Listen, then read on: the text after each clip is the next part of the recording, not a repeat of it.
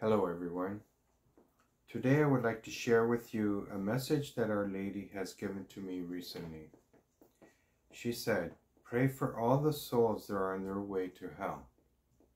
There are many souls who do not believe and do not know where they are going.